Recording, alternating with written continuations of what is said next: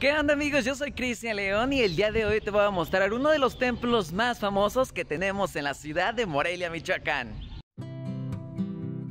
El Templo del Carmen es de estilo manierista y su construcción inició alrededor del año de 1600. Consta de una nave en forma de cruz latina, angosta y profunda. La fachada principal es sencilla, de estilo barroco. La fachada lateral es igualmente sencilla, aunque es más antigua, concluida en el año de 1619.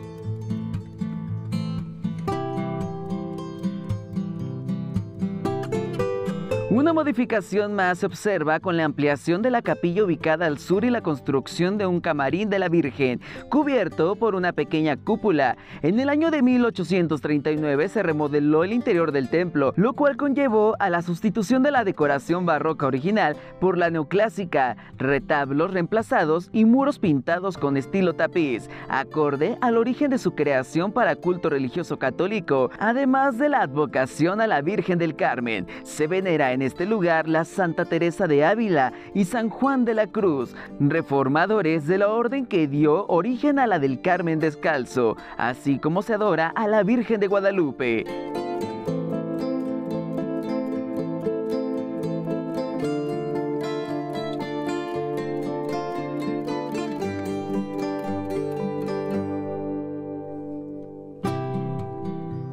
Esto es el Templo del Carmen, uno de los templos más reconocidos en la ciudad de Morelia.